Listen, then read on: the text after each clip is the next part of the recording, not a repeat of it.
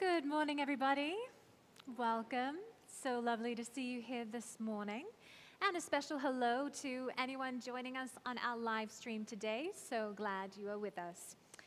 So, a couple of announcements. First is that we are on the precipice of our yearly wreath sale, which means that it's time to set up. So, after coffee hour today, we will be um, transforming our parish hall into Santa's workshop so that we can decorate wreaths and, and sell them to, to beautify everybody's home. So we will need everybody's help to, uh, to work on that setup after coffee hour today. So you are warmly invited to, uh, to be part of that. Um, also, today we will be having a monthly online coffee hour.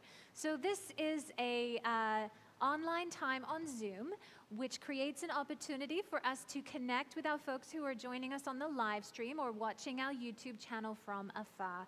So it's a space to be able to say hello to them and uh, create fellowship with them. So I do invite you to attend that online coffee hour this evening at 7 p.m. And the Zoom link for that can be found in our newsletter and on our website and on our Facebook page.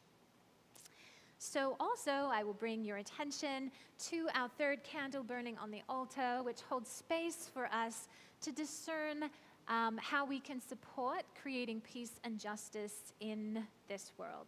And on that note, today, um, we are going to read a land acknowledgement. So it's important to, to make note of the fact that um, this past Friday, was Indigenous Peoples Heritage Day, and that November as a whole is Indigenous Peoples Heritage Month.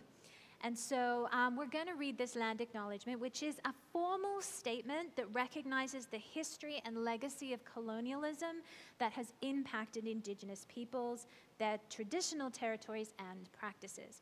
Now, acknowledgement is a simple and powerful way of showing respect and a step towards correcting the stories and practices that erase Indigenous people's history and culture while inviting and honoring the truth.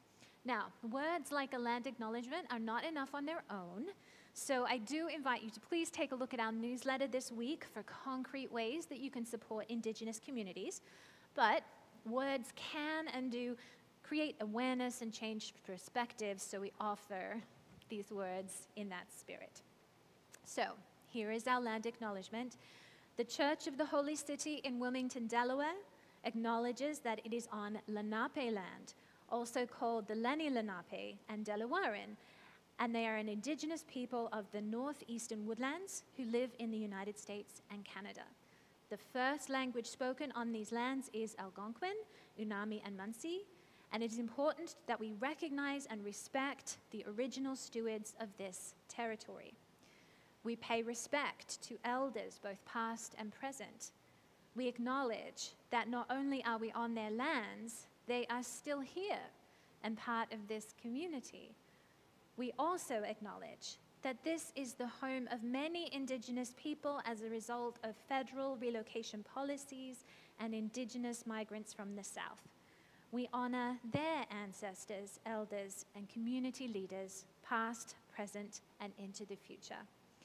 We speak these words to honor the Lenape peoples and invite all who come here to reflect on their relationship to the histories of this land and the people. We invite you to get involved and do your part to work with and support Indigenous struggles on these lands. May the balance be restored. So, with that, I will invite you to please stand for the opening of the word.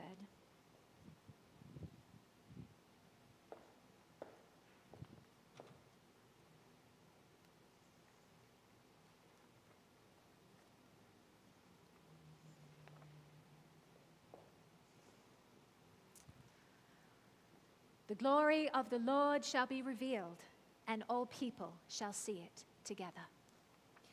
So we'll begin our worship this morning with singing. Well, actually, I apologize.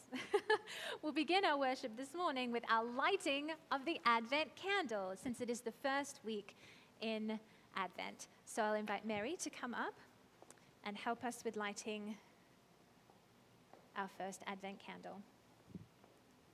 Doesn't matter.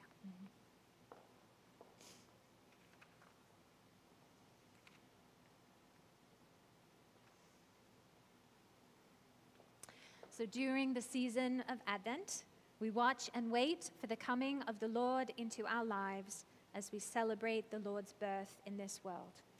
We light candles to remind us that the Lord is our dawn in a world of shadows, that our God, out of great love, would enter into the experience of our humanity. Today, we light the candle of hope. The light shines in the darkness, and the darkness did not overcome it. Thank you.